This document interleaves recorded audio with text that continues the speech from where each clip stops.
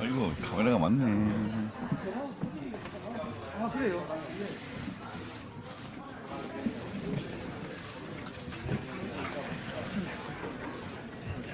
오신 걸내못 받고 찾더니 있잖아 저기 있대요.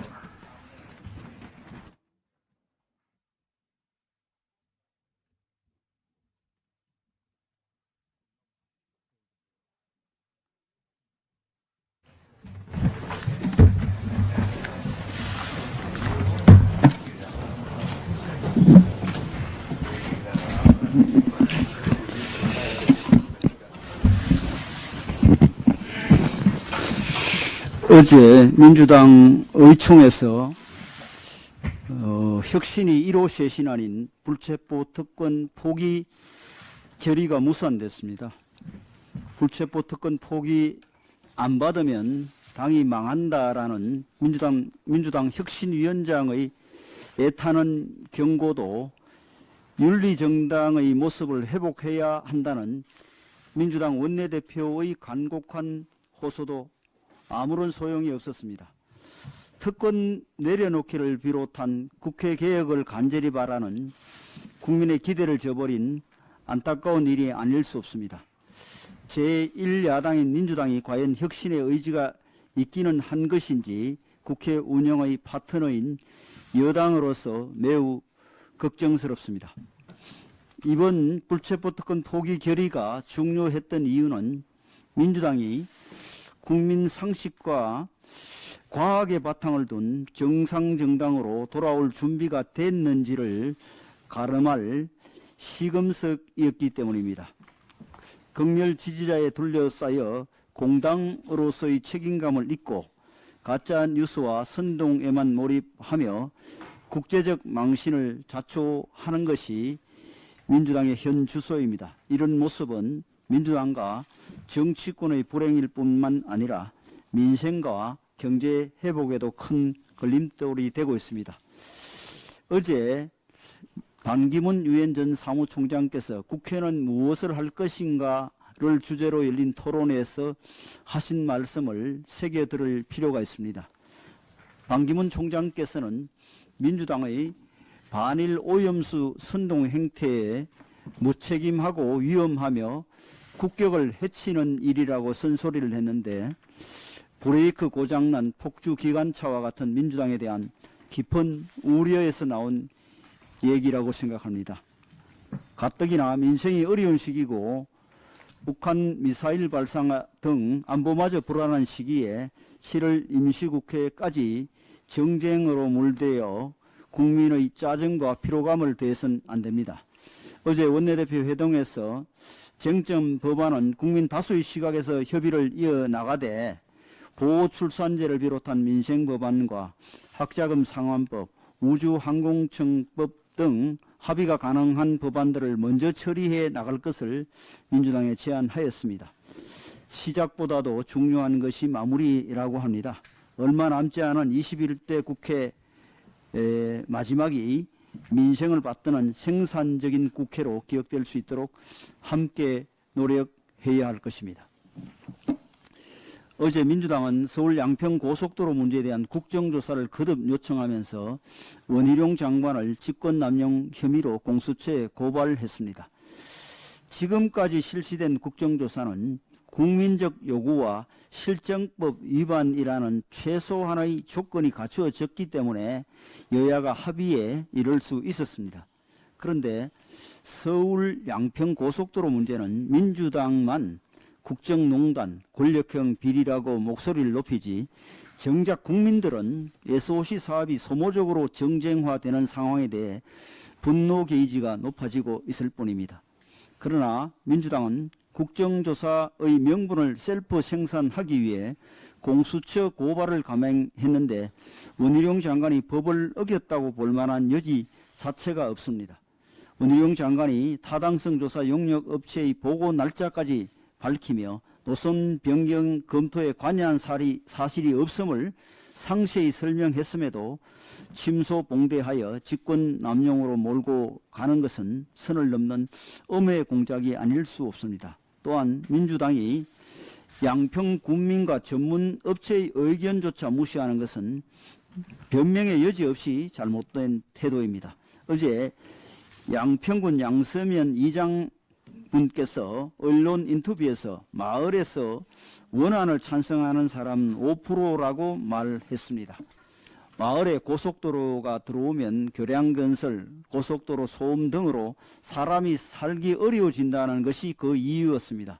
이처럼 원안 종점에 거주하는 양서면 주민들조차 원안을 거부하는데 민주당이 주민의 뜻을 거슬러 원안을 고집하는 것은 미니 수렴이라는 민주주의의 기본조차 망각한 태도입니다.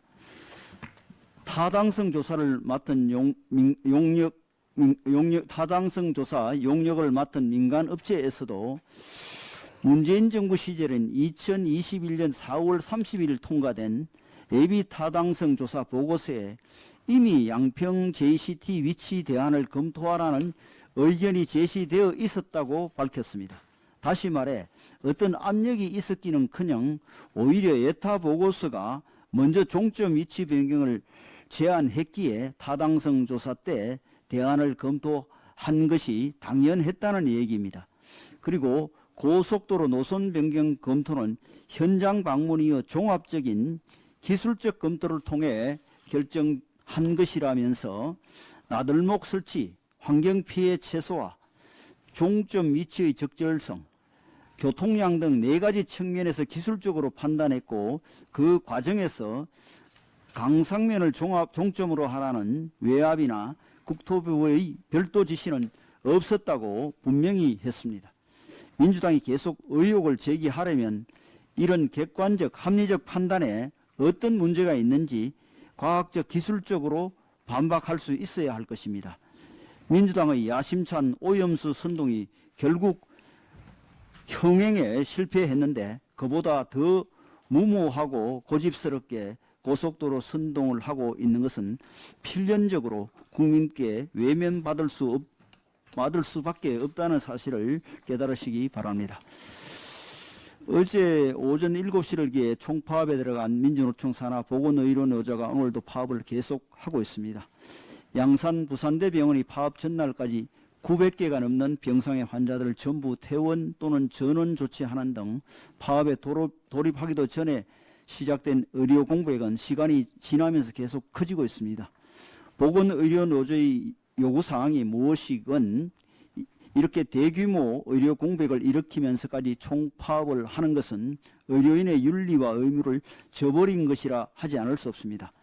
환자의 생명과 안전을 볼모로 한 보건의료노조 파업을 민노총의 총파업 지침에 따라 잘못된 방법으로 강행하는 것은 민폐 파업입니다. 현재의 열악한 의료 환경을 고려할 때 보건의료 노조의 요구사항 중에는 정당한 것들도 있습니다. 하지만 대부분의 요구는 적지 않은 예산과 시간이 필요하고 법 개정이 필요한 것도 있습니다. 2021년 9월 1일, 2일 노정 합의 이래 정부와 간호사 처우 개선에 많은 노력을 기울이고 있는 터에 당장 해결될 수 없는 사안을 가지고 국민의 생명과 건강을 볼모로 삼아 파업을 벌이는 것은 옳지 않습니다. 더욱이 보건의료노조가 정권 퇴진 등을 내건 민주노총의 불법 정치 파업 시기에 맞춰 총파업에 들어가고 어제처럼 세종대로 4차선을 막고 교통대란을 일으킨 것은 파업의 순수성을 의심할 수밖에 없는 대목입니다. 이것이 과연 나는 인간의 생명에 해로운 일은 어떤 상황에서도 하지 않겠습니다라는 나이팅게일 선서에 부합하는 태도입니까? 정치 투쟁을 위해 인본 정신을 저버린다는 것은 보건의료인의 직업윤리로는 상상할 수 없는 일입니다. 보건의료 노조 총파업은 여러 면에서 명분이 약하고 국민의 지지도 얻기 힘듭니다. 지금이라도 총파업을 중지하고 병상으로 돌아가 아픈 병 환자들을 돌, 보살펴 주시길 바랍니다.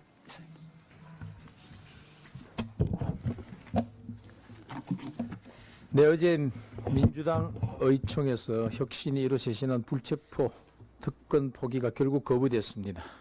김, 김은경 혁신위원장이 쇄신안을 안 받으면 당이 망한다 했고 박강원 원내대표가 간곡하게 제안한다고 했지만은 소기의 경일기였습니다.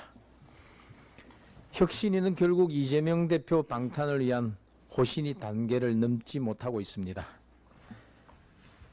지난 4월 일본과 후쿠시마를 방문했다 관계자들을 만나지 못하고 사진만 찍고 돌아왔던 빈손 방일쇼가 또 한 번 재탕됐습니다. 괴담 원정도 빈손이고 혁신도 빈손입니다.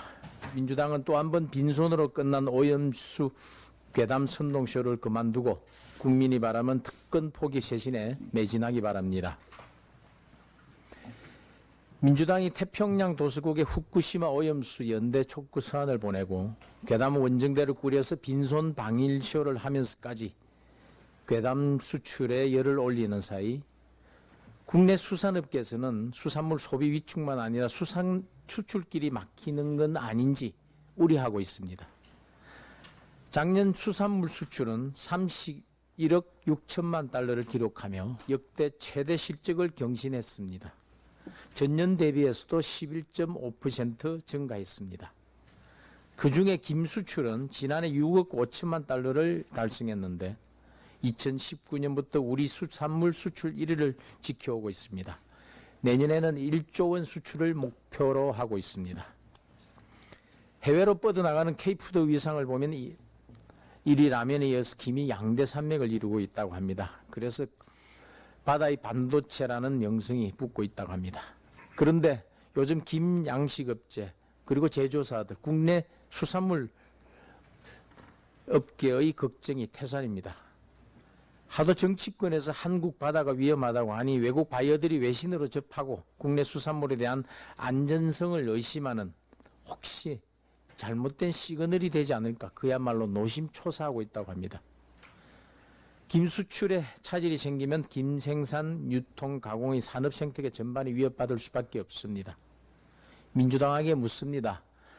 괴담은 수출하고 수- 국내 수산물은 수출을 막으려 하는 것입니까? 그러면서도 어민 보상 입법을 당론으로 추진하고 있다 하는 것은 병주고 약주는 행태입니다. 이유는 후쿠시마산 식품 수입 규제를 철폐하기로 했습니다. 이유는 남의 나라 수출길도 열어주고 있는데 대한민국 제1야당은 자기 나라 수산물 사조 수출길도 막으려 하는 것입니까? 국익자해나 다름없는 자해 괴담몰이 중단하기 바랍니다. 민주당은 더 이상 우리 어민들을 괴롭히지 말기 바랍니다. 어민연합회 대표가 정치나 과학은 몰라도 바닷속과 고기는 우리가 누구보다 잘한다. 우리 바다는 깨끗한데 정치인들의 말이 오염됐다라고 한 말을 새겨 듣기 바랍니다. 민주당은 제발 우리 국민 생각하고 우리 경제 생각하고 우리 수출 생각하기를 간곡히 요청합니다. 전국 보건의료산업노조가 어제부터 파업에 들어갔습니다. 19년 만에 벌이는 대규모 파업이라고 합니다. 의료 현장에서는 수출, 수술이 줄줄이 취소되고 입원 치료가 필요한 환자에게 퇴원을 권유하는 등 걱정스러운 상황이 연출되고 있습니다. 파업으로 인해서 폐혈증 위험 환자가 병상이 없다는 이유로 내보내지고 응급 환자들이 산소 마스크 쓴 채 표류하고 중환자들이 치료를 받지 못해 발을 동동 구르게 하는 일은 없어야 합니다. 더군다나 보건의료가 파업의 명분으로 요구하는 상당 부분은 이미 정부에서 긍정적으로 검토하고 준비되고 있는 사안들입니다. 이러니 민노총 파업 지침에 따른 정치 파업, 국민을 고통스럽게 하는 민폐 파업이라는 말이 나오지 않을 수 없습니다. 민노총의 이익이 국민의 건강과 생명보다 우선일 수는 없습니다. 민노총은 국민 생명 볼모로 하는 의료 파업 부추기지 말고 뒤로 빠지기 바랍니다. 정부는 합법적인 시- 파업과 시위는 보장하되 불법 파업에 대해서는 단호하게 대처해 줄 것을 요청합니다.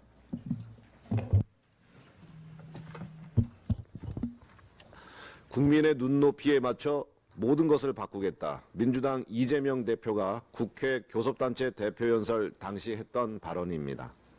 그런데 어제 민주당은 혁신위원회 1호 쇄신안이었던 국회의원 불체포 특권 포기를 사실상 거부했습니다.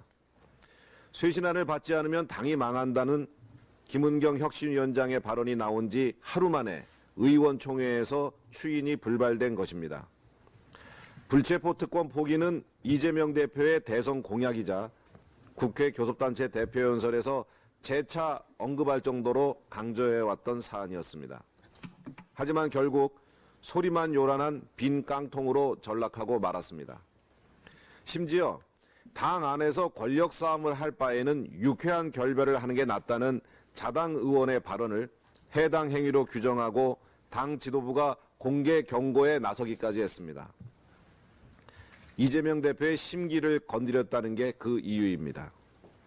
이는 민주당이 그토록 강조하던 혁신, 쇄신, 반성, 변화라는 것이 얼마나 가볍고 무책임한 것인지를 여실히 보여주고 있습니다. 아무리 좋은 도구가 있어도 제대로 쓰지 못하면 무용지물입니다. 아무리 좋은 혁신안을 제안하더라도 이를 실천하지 않으면 보여주기용 정치쇼에 불과한 것입니다. 민주당과 혁신위는 말만 앞서는 정치, 실천 없는 정치는 중단하고 국민 앞에 진정성 있는 혁신의 모습을 보여줘야 할 것입니다. 자, 오늘은 광기현 간사님 하실 것 같아요. 네, 보건복지위원회 강기훈 간사입니다. 어제부터 진행된 민주노총 산하 전국 보건의료 산업 노동조합의 파업과 관련해 몇 가지 말씀을 드리고자 합니다. 먼저 국민의 생명과 안전을 볼모하는 보건의료 노조 파업은 그 어떤 이유로도 정당할 수 없습니다. 이번 보건의료 노조 파업으로 인해 암 환자 집중 치료 기관인 국립암센터는 예약 수술 취소를 비롯해 입원 환자도 차례로 퇴원시키고 있는가 하면 국립대병원인 부산대병원과 양산 부산대병원도 수술 일정을 미루고 중환자와 산모 등을 제외한 모든 입원 환자를 퇴원시키거나 다른 병원으로 옮기는 상태입니다. 이처럼 환자의 생명과 건강에 중대한 위해를 가하고 있어서 환자의 안전보장을 위해 파업을 한다, 안전보장을 위해 파업을 한다는 보훈의 노조의 주장을 국민들은 쉽게 받아들이기 어려울 것입니다. 두 번째로 이번 보건의료 노조 파업은 보건의료계 전체가 파업하는 것이 아닙니다. 이번 파업은 민노총 산하 보건의료 노조가 주축이 되어 참여한 것으로 전국의 상급병원, 상급종합병원 45곳 중 20곳이 파업에 참여하고 있습니다. 국민의 생명을 볼모로 하는 민주노총 산하 보건의료 노조의 파업 행위는 결코 용납받을 수 없을 것입니다.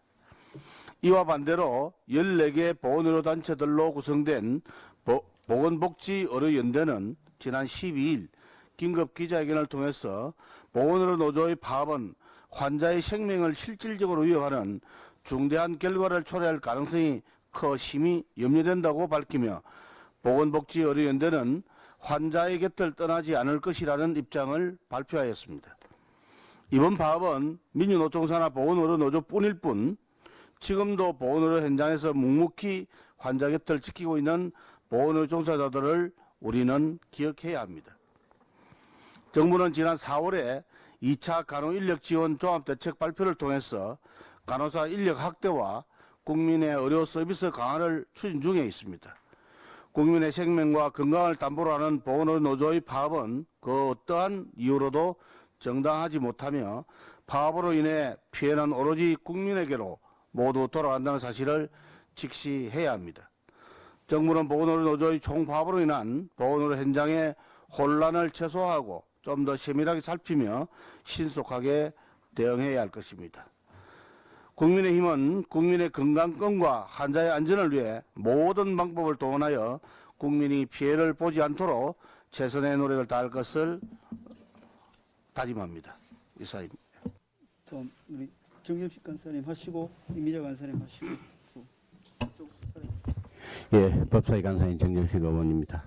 법사위는 17일 검찰의 특수활동비와 관련하여 한동훈 법무부 장관을 상대로 현안 질의를 실시합니다. 최근 한 시민단체와 언론이 지속적으로 문제를 제기하고 윤석열 대통령님을 공수처에 고발까지 한 사안에 대해 국민들께 사실관계를 명확히 알리고자 하는 취지입니다. 국민 여러분들의 소중한 세금이 투명하고 올바르게 사용되어야 한다는데 동의하지 않을 사람이 누가 있겠습니까? 검찰이든 법무부든 대통령실이든 예산 집행 과정에 문제가 있다면 당연히 이를 지적하고 개선해 나가야 합니다. 그러나 이들의 주장은 다분히 정치적 의도나 진영 논리에 입각해 사실을 왜곡하거나 과장했습니다. 가령 당시 윤석열 검찰총장 목 특수활동비가 존재했고 이를 관리하는 별도의 계좌 이중장부가 존재했으며 특정 지위의 검사들에게 특활비가 지급되었다고 보도되었으나 확인 결과 이는 모두 사실이 아닌 것으로 알려지고 있습니다. 게다가 2020년 11월 추미애 전 법무부 장관이 추미애 전, 아, 추미애 당시 법무부 장관이 검찰, 윤석열 검찰총장을 밀어내기 위해 친문검사인 박은정 감찰 담당관과 한동수 대검 감찰부장을 통해 검찰의 특수활동비 감찰을 지시했음에도 당시 아무런 문제점이 발견되지 않았습니다. 또한 당시 국회에서도 민주당 의원 7명을 포함한 법사위원 11명이 대검을 방문하여 특활비 집행 자료를 열람하였지만 정상적으로 집행 관리되고 있음을 확인했던 사안입니다. 과연 당시 특활비에 문제가 있었다면 문재인 정부와 정치권에서 윤석열 검찰총장을 가만히 두었겠습니까? 어떻게든 대통령의 과거 행적에 대해 흠집을 잡아보려고 하는 의도는 알겠으나 2022년 2월 문재인 정부 비서실의 특활비 일부 공개 판결 미이행에 대해 대해서도 제대로 언급조차 하지 않으면서 검찰이 최근 공개한 1만 6천여 쪽의 자료는 토시 하나까지 찾아보려 애쓰는 모습이 참으로 안타깝게 보입니다. 오는 17일 법사위 현안 질의를 통해 검찰 특활비에 대해 더 이상의 거짓 선동, 가짜 뉴스가 확대 재생산되지 않도록 노력하며 사실관계를 바로잡도록 최선을 다하겠습니다. 이상입니다. 어, 이미자 간사님. 네, 국회 한노희 간사 임자연입니다. 문재인 정부의 4대 강 보호 해체 결정과 관련한 국정농단 검은 커넥션이 하나씩 밝혀지고 있습니다. 문재인 정부 시절 시작된 금강, 영산강 보처리 방안에 대한 공익 감사 결과에 따르면 문정부 시절 그 당시 김은경 환경부 장관은 금강, 영산강 보호 해체 결정을 등을 이끈 4대강 조사평가기획위원회 민간인 민간위원 구성에 앞서서 환경부 직원에게 4대강 사업을 반대하는 4대강 제자연, 자, 제자연화 시민위원회와 공모하라고 지시했습니다. 이것은 분명히 국정농단이고 직권남용입니다. 4대강 제자연화 시민위원회는 반 4대강 활동에 나섰던 181개가 연합해서 2018년 3월 달에 발족된 시민단체이고 이후에 조사평가 민간위원들이 이 단체가 추천한 인사들로 모두 채워져서 영산강 금강 보 처리 방안 마련 과정에서 공정성과 객관성을 심각하게 훼손하였습니다. 2019년 2월 보호 개방 여부가 하천 수질 생태에 미치는 영향 및 경제성 분석에 나서는 등 이 조사평가 일기 민간인위원 모두 8명 모두와 4대강 제자연화 시민위원회에서 추천한 인사들이었고 이 사람들은 2018년 8월 대통령 훈령으로 구성된 조사평가위원회였습니다. 전부 다 4대강 제자연화 시민위원회에서 추천한 사람들이고 이 사람들은 그동안 쭉 4대강 반대 활동에 나섰던 사람들에게 맡긴 것입니다. 어떻게 이런 일이 있을 수 있습니까?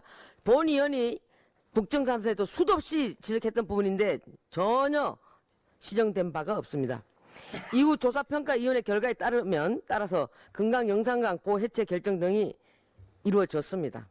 특히 보호 평가 결과에 중요한 영향을 끼친 설문조사 절차에서는 새로 조사를 진행하지 않고 조사평가위가 이전에 다른 목적으로 진행된 보호 해체에 유리한 결과가 담긴 그 조사 내용을 활용했습니다. 아주 파렴치합니다.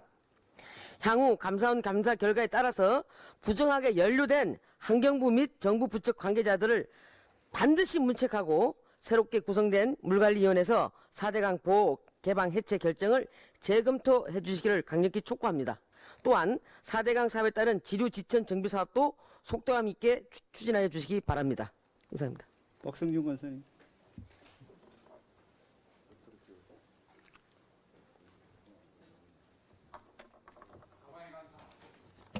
가방의 간사 박승종 의원입니다.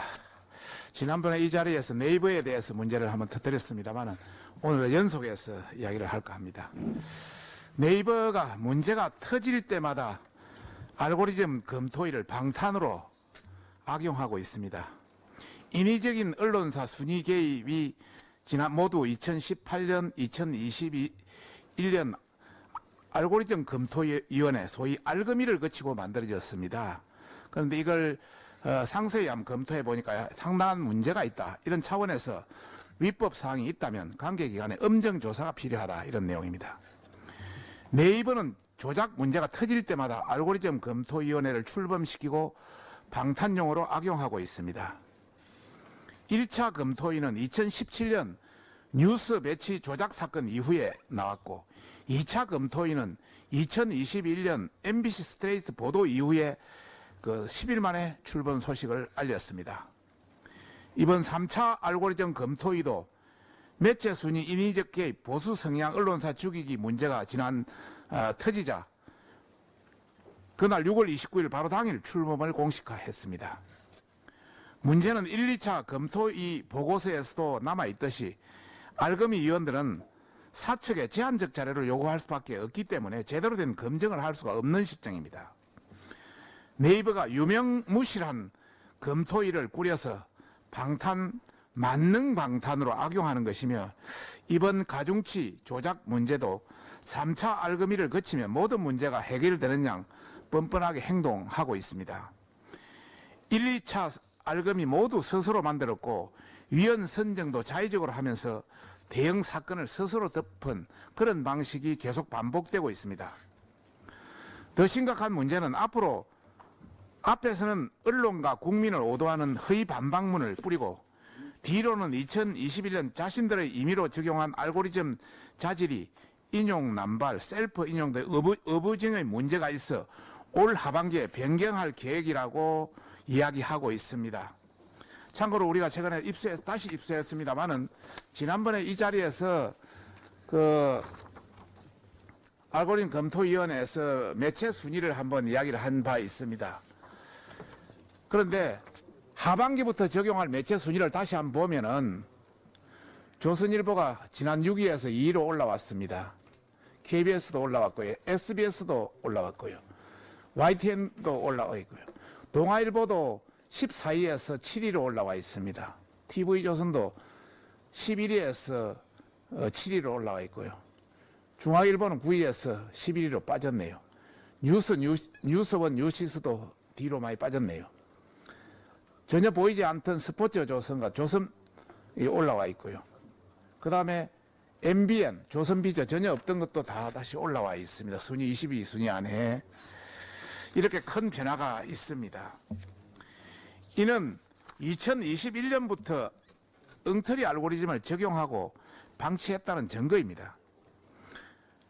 그러면 그동안 수년간 보수 성향 언론사들을 차별 배제하고 여론까지 영향을 끼친 것은 어떻게 책임질 것인가? 이렇게 미리 답을 내놓고 손바닥 뒤집듯 국민을 속이면서 언론사를 지락펴락하는 게 가관인 상황입니다.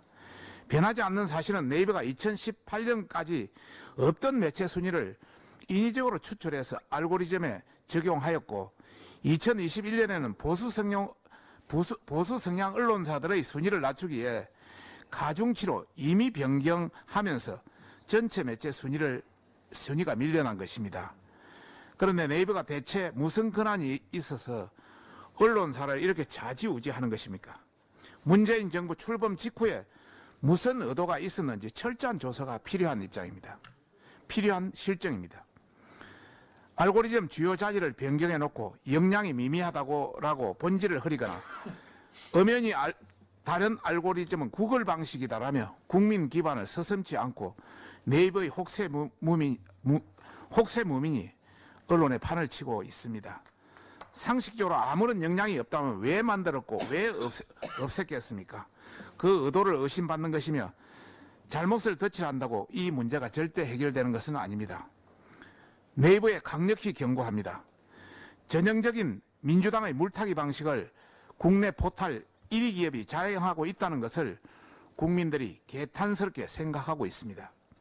더 이상 기만은 국민이 용서치 않을 것이며 위법상에 대해서는 방통위든 관계기관의 엄단, 엄단 조사를 강력히 촉구하는 바입니다. 이상입니다. 예, 기재 간사 유성글 의원입니다. 어제 에, 한국은행이 이 기준금리를 3.5%로 어, 동결을 했습니다. 지난 2월부터 지금 연속 어, 동결하고 있는 상태입니다. 어, 2%대의 소비자 물가 그리고 수출과 내수 회복이 이, 좀 부진한 점을 종합적으로 감안해서 판단한 어, 결정이라고 생각이 됩니다. 어, 그렇지만 시장에서는 2021년 8월부터 올 1월까지 이어진 금리 인상 사이클이 사실상 마무리된 것이 아닌가 하는 일부의 에, 평가와 판단이 있다는 말씀도 드립니다. 이렇게 어, 이렇다 보니까 어, 한동안 주춤했던 은행권 가계대출이 지금 3개월 연속 증가해서 지난달에 에, 6조 원 가량 늘었습니다. 늘었습니다. 어, 특히 은행 주택담보대출이 이 7조 원이 늘어서 어, 3년 4개월 만에 최대 에, 증가폭을 보이고 있습니다.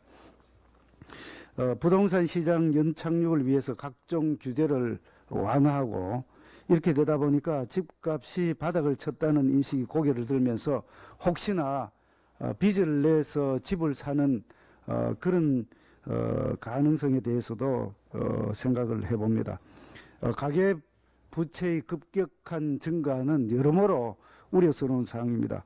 한국은행은 국내 총생산 GDP 대비 이 가계 부채 비율이 80%를 넘어서게 되면은 경기 침체 확률이 높다고 어, 분석한 바가 있습니다. 그런데 에, 우리나라 현재 가계 부채 이 비율이 102.2%나 되고 있습니다. 어, 정부와 통화당국은 어, 가계 대출 은행의 가계 대출 좀 전에 말씀을 드렸습니다만 이 부분은 가계 부채의 최, 어, 최고로 많은 부분을 어, 차지하고 있습니다.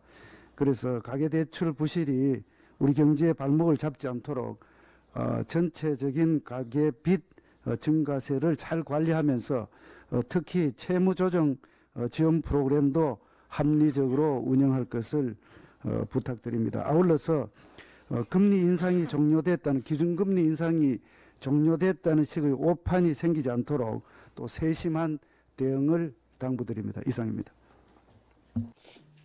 한 분만 더 할 수 있는데 꼭 하시겠습니다. 예, 서정수 짧게 좀 해주십시오.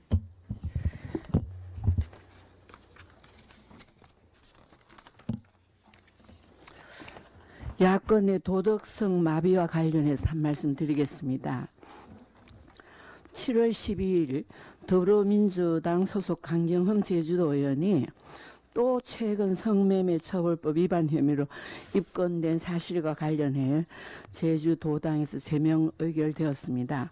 7월 9일 남양주시 모란공원에서 열린 고 박원순 시장 3주기 추모식에서 2018년 지방선거 시 박 시장 선대위원장이었던 이화여대 김수진 명예교수는 나를 스승으로서 사랑하고 따랐던 제자들과 손목도 잡고 격려도 하고 학위도 받고 취업도 하게 되면 얼싸안고 기쁨을 나누는 것은 자연스러운 사제간의 정 나눔이라고 박 시장의 성추행 혐의를 중상모략으로 강변하였습니다.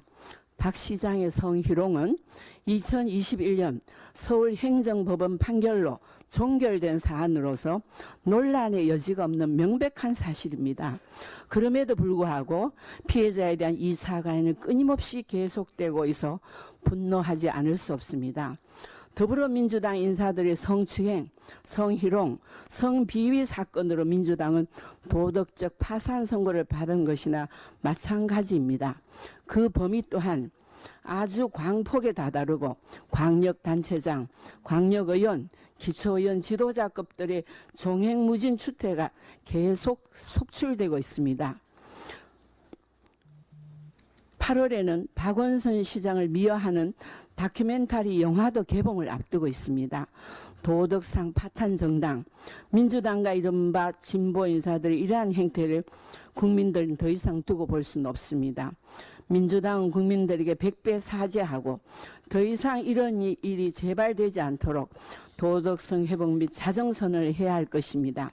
그리고 지난 정부 내내 민주당 측 지도자들의 위기에 의한 성추행 사건을 목도하고 피해 입은 당사자와 그 가족 및 이웃들과 대한민국 모든 여성들 또 누이, 자매, 딸들이 겪은 고통을 지켜본 국민들께서는 민주당의 이러한 도덕성 파탄을 내년 총선에서 반드시 심판하시리라 믿습니다.